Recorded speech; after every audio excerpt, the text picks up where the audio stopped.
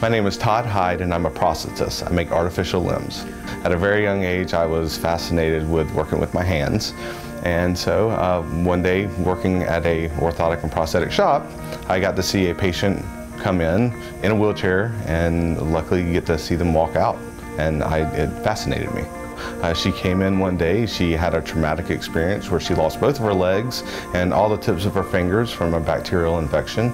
Uh, she came in one day, I measured her and I took some impressions and of, of her limbs and in a week she came in and I fit the limbs and she walked out. And she's been walking ever since. Different styles of prosthetic limbs that we do are above the knee and below the knee. We also do arms. We do a lot of cosmetics uh, for those patients who really like their, their, their prosthetic limbs to look real. So I love to come to work every day because everybody's different. It's a new story, it's a different day, and I hear some wild stories, and it's so much fun.